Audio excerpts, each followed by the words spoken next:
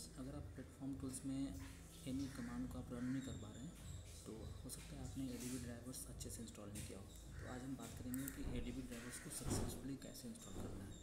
तो सबसे पहले हमें ए ड्राइवर को ओपन करना है। इसको हमने ओपन किया। यस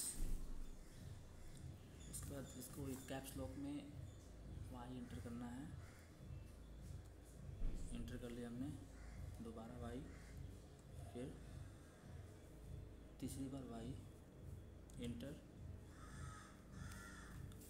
यहाँ पे फिर नेक्स्ट करना है। फिनिश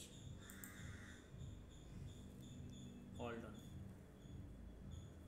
इसको करने के बाद आप आसानी से अपने डिवाइस को